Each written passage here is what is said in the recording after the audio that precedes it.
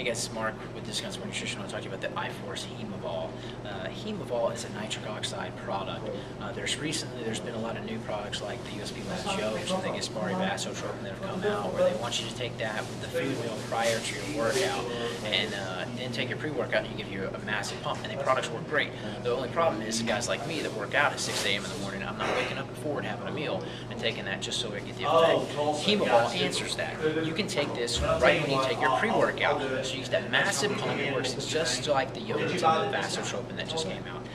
Mix this in with your pre-workout. It tastes good, mixes good, uh, gives you a massive pump, huge endurance in the gym, and it helps you volumize your cell, muscle cells so you can get faster recovery. So try this out, especially if you're an early morning guy like me, don't have time to eat. Try this out with your pre-workout. You sick pumps.